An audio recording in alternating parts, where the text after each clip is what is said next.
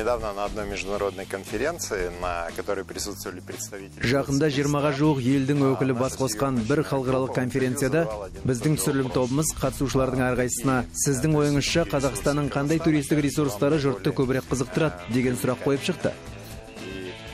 Сонда көпшілігі Астана қаласы, таулары, көрікті ландшафтары, жабайы аңдары деп жауап берді. Көптеген туристер жабайы жан жануарлардың сирек кездесетін немесе эндемдік түрін көру үшін орталық азияға келуге дайын. Барысты ақбөкенді тау қойларын суретке түсіріп алуды армандайтындар көп. Туристердің ұйымдастырушылардан кепілдік беруін сұрап жататын кездері де аз емес. Бірақ жүз пайыз кепілдік беру мүмкін емес. Түз тағылары бір жерде байлаулы тұрмайды. Олар жасырын өмір сүреді. Көбіне түнде жүреді. Олардың қасына жақсылап суретке түсіріп алатындай жерге дейін жақындау қиын. Дегенмен қазақстанда осы жұмысты сәтті атқарып шығуға дайын мамандар бар. Біз бүгін қазақ туризм ұлттық компаниясының зоологы өркен шаймұхамбетов пен қарағанды экомұражайының зоологы айбат мұзбайдың тау қойлары қорынан келген биологтарға түз тағыларын көрсету үшін қандай амалдар қолданатынын көреміз.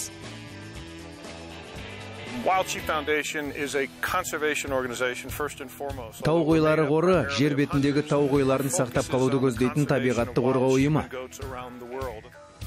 Әрине қазақстанда аралайтын кез келген саяхат оның елордасымен танысудан басталады. Ұлы даланың кіндігінде орналасқан шағын қала соңғы 20 шақты жылдың ішінде орта азиялық ірі брендке айналды. Грей торнтон мен брэд джефферсон астананы аралап экскурсия жасап шыққаннан кейін бірнеше іскерлік кездесуін өткізді.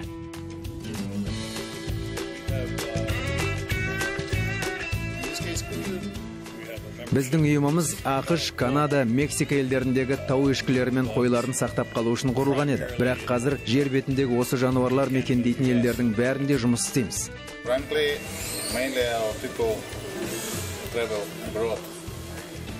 Соңғы уақыттарға дейін біздің саяхатшылардың басым бөлігі таиланд сияқты шетелдерде демалғанды жақсы көретін. Ал қазір біз ішкі туризмді дамытуға тырысып жатырмыз.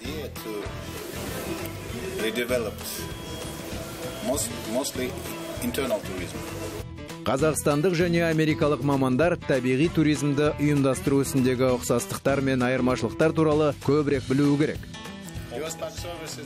Ақштың ұлттық парктері ауыл шаруашылығы министрлігіне бағына ма әлде өз алдына жеке құрылым ретінде жұмыс істей ме? Жоқ бізде ұлттық парктер ішкі істер министрлігіне қарайды.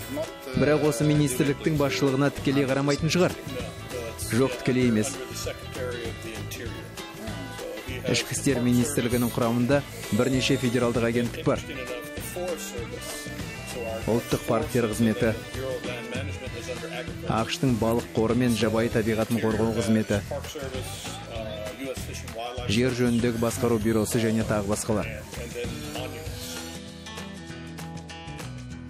Әскерлік кездесулер мен жиналыстар аяқталып саяхаттың ең қызықты кезеңі басталды. Зоологтар өркен мен айбат шетелдік достарын бұйратау ұлттық паркіне шақырды.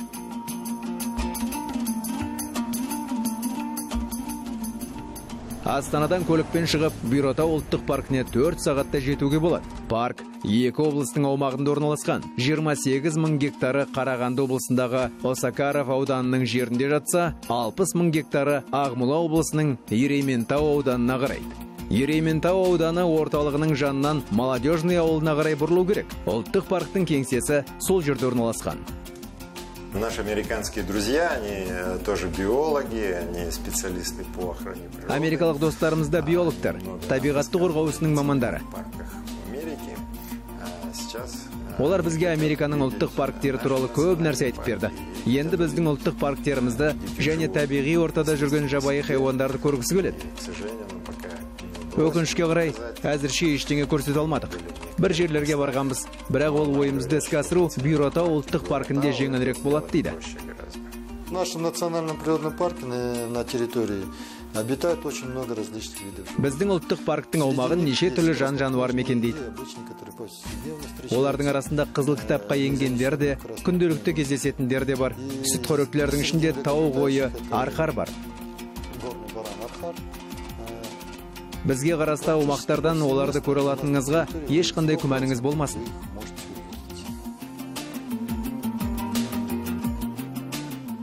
Жан жануарлар мен өсімдіктер әлемін тек ғылыми зерттеулерге сүйене отырып қана басқаруға болады. Әрбір ұлттық парктың өз ғылыми бөлімі бар. В отделе науки работают э, пять э, сотрудников. Ғылым бөлімінде бес адам жұмыс істейді. Аға ғылыми қызметкер ғылыми қызметкер кіші ғылыми қызметкер лаборант және бөлім бастығы. Ғылым бөлімінің басты мақсаты жан жануарлар мен өсімдіктер әлемін сақтау және қайта қалпына келтіру. Парктың кеңсесінде шағын ғана табиғат мұражайы бар. Ландшафт пен жан жануарлар туралы алғашқы әсерді осы жерден алуға болады. Конечно же, целью создания национального парка является не только научная деятельность, охрана... әрине ұлттық парк құрудағы мақсат ғылыми жұмыс жүргізіп табиғи қорды күзетіп санын көбейту ғана емес экологиялық таным түсінікті кеңейтіп туризмді дамыту. Так как э, Біз басты назарды экологиялық туризмге аударамыз. Біздің паркте рекреациялық жүктеме шектеулі. Сол себепті біз басқа мысалы бурабай мен баянауыл парктеріндегі сияқты емес келушілерді көп қабылдай алмаймыз. Бізде қызыл кітапқа енген жан жануарлар мекендейтін адам аяғы тимеген жерлер көп. Животных, птиц, растений. Для того, чтобы увидеть нашу территорию, я вам сегодня... қонақтар аумағымызды түгел көрсін деп бүгін аңшылық танушы екі биологты сіздерге бөлем. Біздің екі бөліміміз бар. Сол екеуінен екі биолог қастарыңызға еріп жүріп аумақты түгел көрсетіп шығады. Жүз рет естігеннен бір рет көрген артық.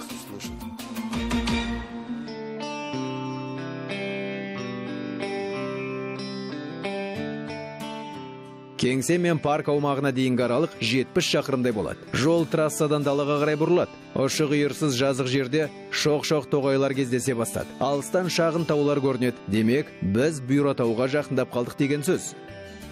Аққайың мен реликті қарағандағаш ормандары жапқан жатық төбелер алыстан қарағанда расымен ақ бюроланып жатқандай болып көрінеді. В нашем парке обитают животные парнокопытные. Это у нас біздің паркты арқар асыл тұқымды бұғы бұлан елік сияқты аша тұяқты жануарлар мекендейді парк құрылғанға дейін бұл жерде елу шақты ғана арқар бар еді. Ал соңғы жүргізілген санақ бойынша олардың саны 500 басқа жеткен.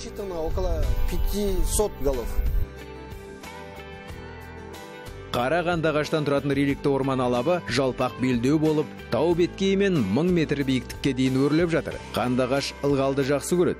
Өзендердің бұлақтардың бойында және жер астындағы суы мол жерлерде өседі. Қарағандағаш қазақстанның қызыл кітабына енген. Реликті ағаштарды шапқандарға үлкен айыппұл салынады.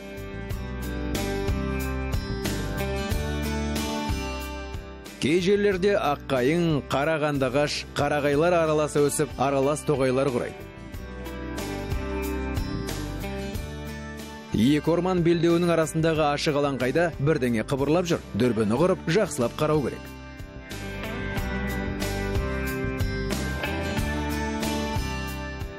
Арқарлар екен. Бір үйірде 62 бас жүр. Бұл өте жақсы көрсеткіш.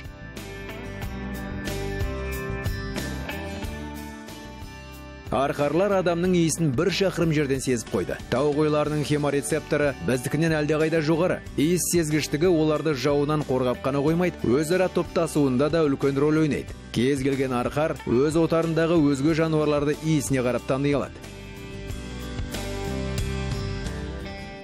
Арқарлар топтасып өмір сүретін жануар. Олар жазда шағын шағын үйірмен жүрсе күзге қарай бірігіп үлкен қорамта құрады оның әрбір мүшесі күн сайын өзінің әлеуметтік дәрежесін нақтылап тұрады. Құлжалар әзірше жай ғана ойын түрінде күш сынасып қояды. Бірақ көп ұзамай күйлеу кезеңі де келіп жетеді. Нағыз жекпе жектер сол кезде басталады.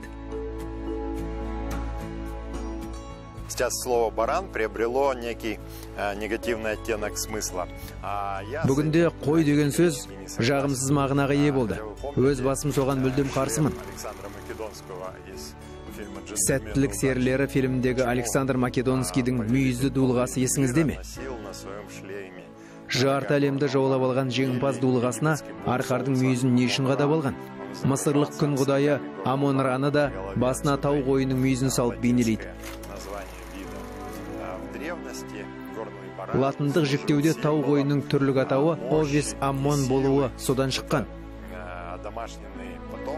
Ежелгі заманда тау қойын күш пен биліктің белгісі деп таныған.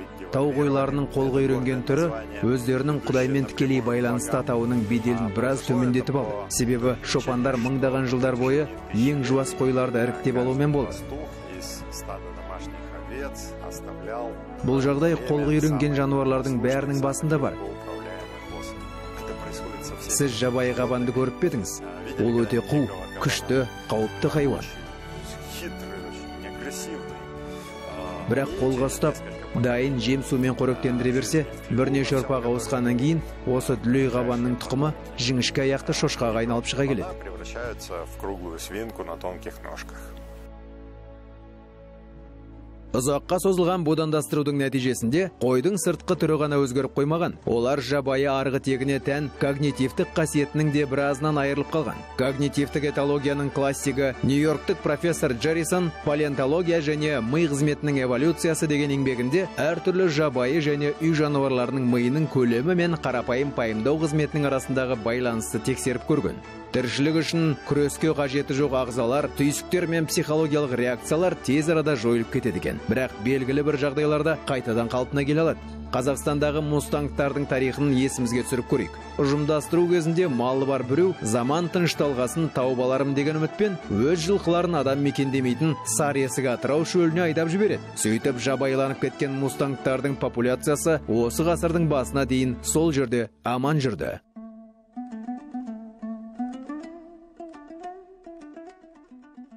Міне мынадай сұлу малды тянь шань тауларындағы фермерлер өсіреді. Арқар меринос үй қойы мен жабайы арқарды будандастыру арқылы алынған тұқым. Арғы тегінен қалған қасиеттерінің арқасында бұл жануар биік таулы аймақтарда табиғаттың қаталдығына қарамастан тіршілік ете береді. Порода создавался э, в 50 году, через 20 лет его опробировали бұл тұқым елуінші жылдары алынған. Ал арада 20 жыл өткеннен кейін оны қазақстанға келіп қазақтың биязы жүнді меринос қойы деген атпен апробация жасады.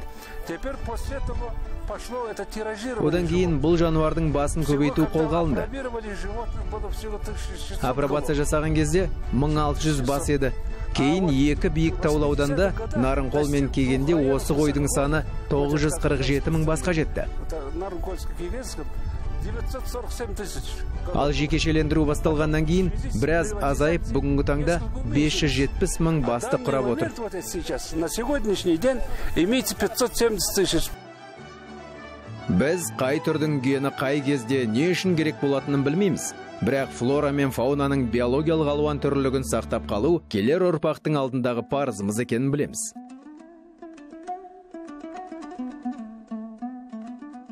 тау қойларының биікке өрлей және жазықты бойлай қоныс аударуы олардың кеңістік туралы интеллектісі жоғары екенін көрсетеді. Соның арқасында бұл жануарлар керекті жерлерін ондаған тіпті жүздеген шақырымнан асып барып тауып алады. Олар қоршаған ортадағы өзгерістерді тез сезініп соған қарай әрекет жасайды. Мысалы қыс қарлы болса арқарлар қар жұқа жерлерге қоныс аударады. Олар суық кезде қай жаққа ыстық кезде қай жаққа қоныс аударуға болатынын қан сорғыш жәндіктердің белсенділігі артатын кезде қай жерде тұрақтап құнарлы шөптердің вегетациялық кезеңінде қайда аттану керектігін анық біледі. Бұл жануарлардың коммуникативтік қабілеті өте жоғары. Соның арқасында қажетті жеріне үлкен қорамталарға бірігіп қоныс аударады. Арқарлар үй қойы сияқты бас ауған жаққа кете бермейді. Алдын ала белгіленген жерге ұйымдасқан түрде қоныс аударады. Арқарлар біздің ауыл шаруашылық жұмыстарының маусымдық кезеңдерін тез меңгеріп алды. Олар малды қай кезде жайлауға көшіріп қай кезде алып кететінімізді біледі. Сол себепті үй малдары келерден екі апта бұрын жайлаудан кетіп қалады. Ал олар көшіп кеткесін екі аптадан кейін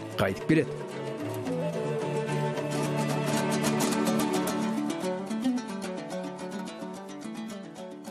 Арқарлар 10 мемлекеттің солтүстік ауғанстанның қытайдың моңғолияның тибеттің непалдың солтүстігін пәкістанның солтүстігін шығыс өзбекстанның тәжікстанның қырғызстанның қазақстан мен ресейдің жерін мекендейді. Арқардың барлығы 15 түршесі бар деп суреттелген. Бірақ 2008 жылға жіктеу бойынша бұл жануардың 9 түрі туралы суреттеме беріліп дүниежүзілік табиғатты қорғау одағының қызыл кітабына енгізілді.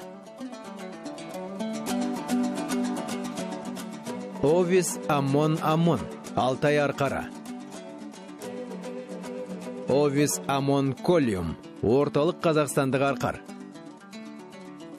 Овис Амон Дарвини. Гоби арқара овис амон хотксони. Тибет арқары овис амон джубата. Солтүстік қытайлық арқар. Шанси арқары овис амон карелини. Тянь шань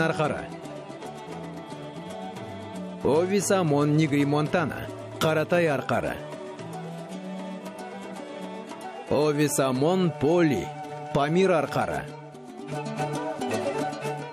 овиса мон северцови северцов арқары арқар қоныс аударып өмір сүреді. Мемлекеттік шекара дегенді білмейді. Сирек кездесетін осы жануарды аман сақтап қалу үшін олардың мекені болып отырған аумақтағы барлық ел жұмыла күш салу керек. 1979 жылы бонда түз тағыларының қоныс аударатын түрлерін аман сақтап қалу жөніндегі конвенцияға қол қойылды. Оған бон конвенциясы деген атау берілді. Я Кристиана Редка, я работаю в секретариате. менің аты жөнім кристиана редгер. бон конвенциясының хатшылығында жұмыс істеймін ол жабайы жануарлардың қоныс аударатын түрлерін аман сақтап қалу жөніндегі конвенция. Мен ол жерде сүтқоректілерді қорғау жөніндегі орта азиялық бастамаларды үйлестірумен айналысамын 2005 жылы Қазақстан Республикасы Қазақстан Республикасының жабайы жануарлардың қоныс аударатын түрлерін аман сақтап қалу жөніндегі конвенцияға қосылуы туралы деген заң қабылданды Конвенция по сохранению мигрирующих видов диких животных. э, у, эм, в рамках этой конвенции... қоныс аударатын түрлерді аман сақтап қалу жөніндегі конвенцияның аясында әртүрлі құралдар бар солардың біреуі овис амон арқарларын сақтап қалу жөніндегі халықаралық жоспар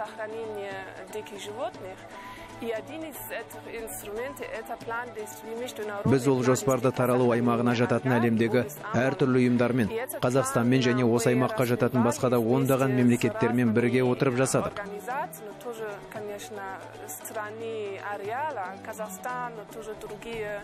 Организации, но тоже, конечно, страны ареала, Казахстан, но тоже другие 10 стран ареала. біз германияда да бішкекте де талай рет кездестік себебі орталық азиядағы арқарларды тиянақты басқару және пайдалану мәселесі бойынша жергілікті мамандар мен сарапшылардың ұсыныс жасауын қаладық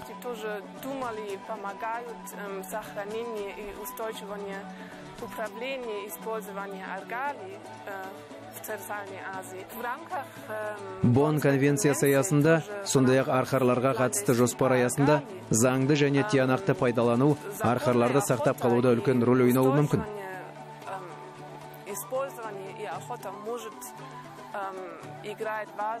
Себебі бұл жағдай жергілікті тұрғындардың сирек кездесетін түрлерді сақтауға деген ынтасын оятады.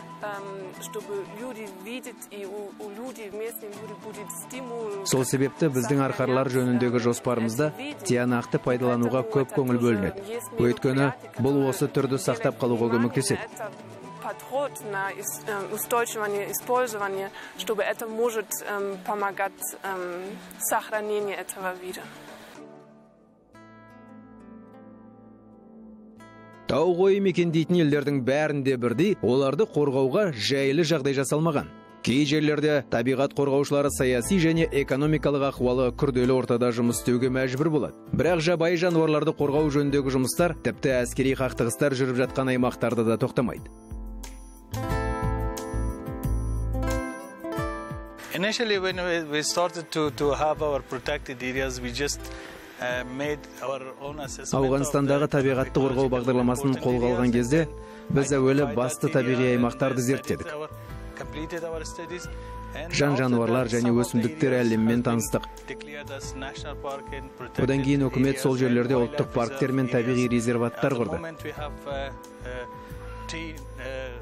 Қазір біздің ауғанстанда екі табиғи паркіміз бір резерватымыз бар.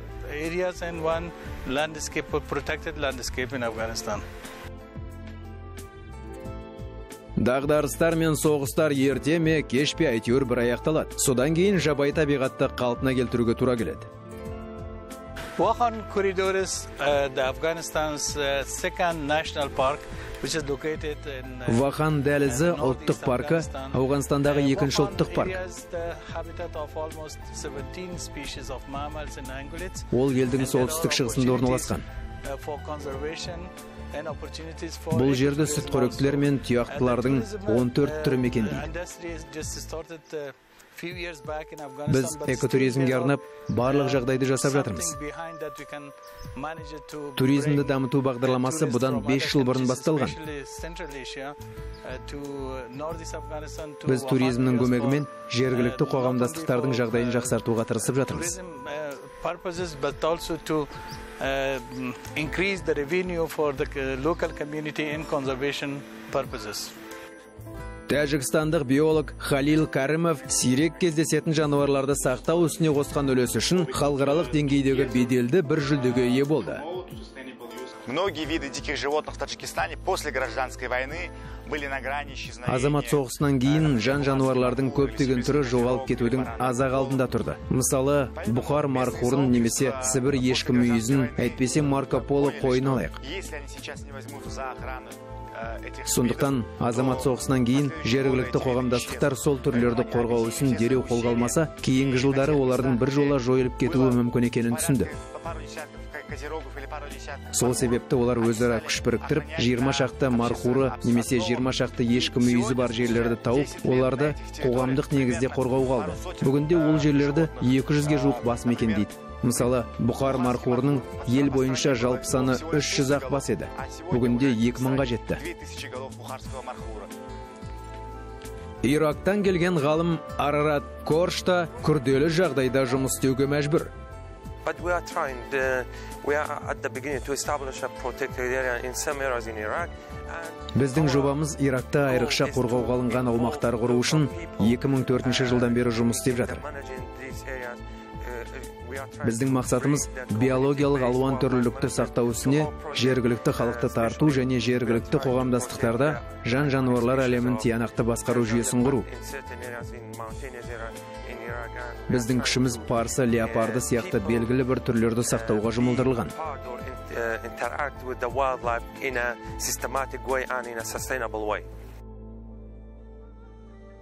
Орталық азия аймағындағы өзге елдермен салыстырғанда қазақстандағы жағдай әжептәуір тұрақты. Арқарлардың жалпы саны 16 мың бастан асады. Қазақстанды арқардың 9 түршесінің төртеуі мекендейді. Солардың ішіндегі саны жағынан ең көбі орталық қазақстандық арқар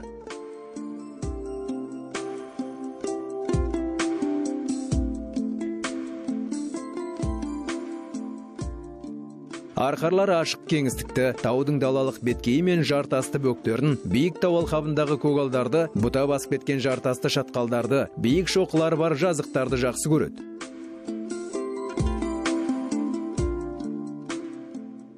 Машинада отырсаң арқарды тек алыстан ғана көре аласың.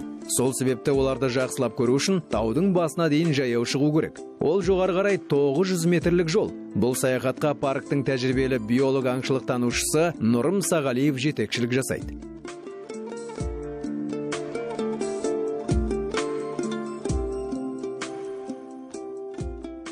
Айбат мұзбайдың университетті бітіргеніне жарты жыл болыпты бірақ өзі байыпты дала зерттеушісіне айналып үлгерген. Айбат студент кезінде ақ тәжірибелі зоологтармен бірге жиі жиі экспедицияға шығып түз тағыларын санау әдісін ғана емес олардың мінез құлқын түсінуді де үйреніп апты. Оған қоса даладағы жұмыс көздің өткірлігі мен дененің шыныққан шымырлығын талап етеді.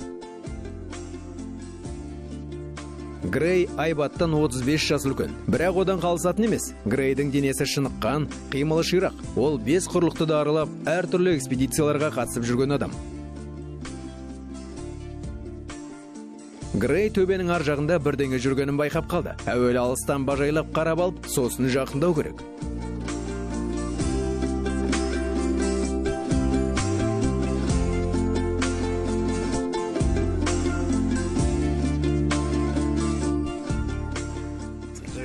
There's about 12 males. 12 бас құлжа жүр бәрі де ірі ірі екен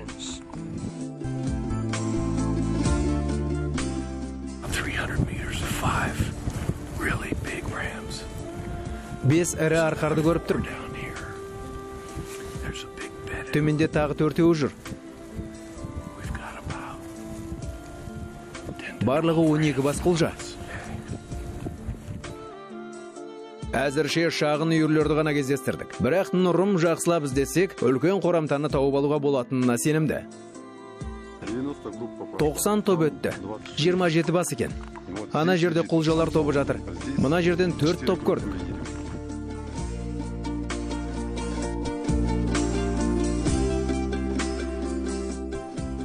Вот эту вот яму выгрызли архары. А, В прямом смысле выгрызли прямо зубами. мына шұңқырды арқарлар кеміріп қазған. Олар шынымен ақ топырақты тісімен кеміріп қазатты да жеп қояды. копытным часто не хватает соли. сірә мына жердің тұзы көп болу керек. огромные ямы а, глубиной больше метра. тұяқтыларға көбіне тұз жетіспей жатады. Сөйтіп олар кейде тереңдігі бір метр жалпақтығы үш метрге дейін жететін үлкен шұңқырлар қазып тастайды. Ал осы жануарлардың сортаңға жетуге тырысатын әдетін ұлттық парктер мен аң аулау шаруашылығының биотехникасында пайдаға асырады. Жасанды жолмен пайда болған сортаңдарға тұз салынады. Сол жерге тұяқтылар жиналып тұрады. Туда собираются копытные. Біз күні бойы жүріп таудың баурайын аралап келеміз ақыры жолымыз болды кезекті бөктерден асқанымыз сол еді арқарлардың үлкен қорамтасына тап болдық. Жел үстіміздегі күртемізді жұлқылап дүрбілі штативтерімізді жерге құлатты. Түсірілім жүргізуге мұрша беретін емес. Бірақ сонда да қуанышымызда шек жоқ.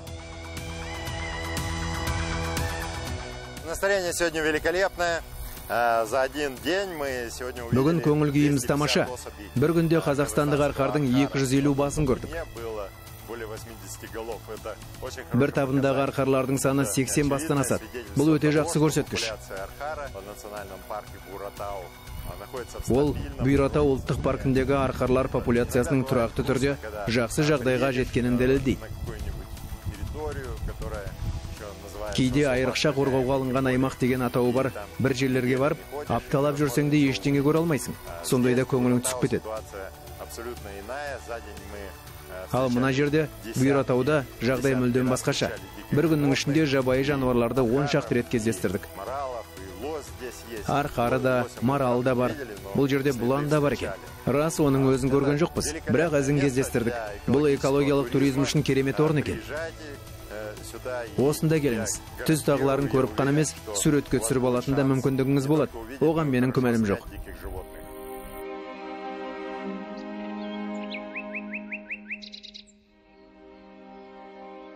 Асыл тұқымды бұғы маралдың тау қойынан бір айырмашылығы орманды жерлерді жақсы көреді. Олар күндіз қалың орманның арасына кіріп бой тасалайды. Ал қас қарайған кезде ашық алаңға шығып жайылады. Марал бұйратаудың шоқ тоғайларын ежелден мекендеген. Бірақ өткен ғасырдың ортасында бұл жануар түгелдей жойылып кетті. Сол себепті 2002 жылы шығыс қазақстаннан марал әкеліп жер сіндіру қолға алынды. Сол бағдарлама әлі күнге дейін жалғасуда. Популяцияны генетикалық жұтаңдыққа ұшыратпау үшін кей кейде жас қан араластырып тұру қажет. Ірі жануарларды өзге облыстардан ауыстырып әкелу оңай шаруа емес. Бірақ қазақстандық мамандар ол тәсілді жақсы меңгерген. Бүгінде парк аумағын 250-ге жуық марал мекендейді.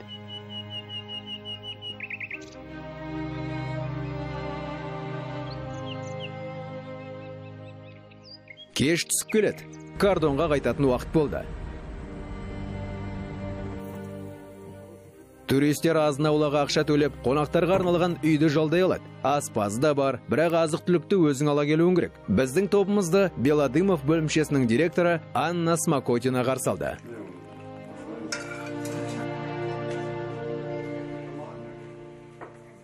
Қонақтарды кешкі ас күтіп тұр. Әрі жаңа достарымен сұхбат құрады олар қазақстанның ұлттық парктері туралы көбірек білгісі келеді. Парк қызметкерлері де өз кезегінде жабайы табиғат қорларын басқарудың америкалық жүйесі туралы сұрастырып жатыр.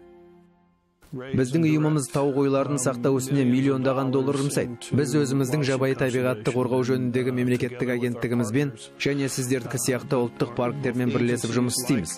сондай ақ табиғатты қорғау ісін қаржыландыру үшін саяхатшыларды тартатын туристік агенттіктермен де жұмыс істейміз.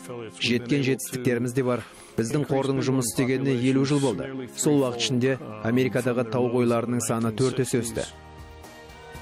Экспедициямыз аяқталып келеді. Америкалық және қазақстандық мамандар осы үш күннің ішінде бір бірімен сыралғы болып қалды. Тіпті осы қысқа уақыт аралығында достасып үлгергендері сонша үш айдан кейін тағы жолығатын болып келісті. Кездесу орны ретінде әлемдегі ең көне ұлттық парк йеллоустоун ұлттық паркі таңдалды.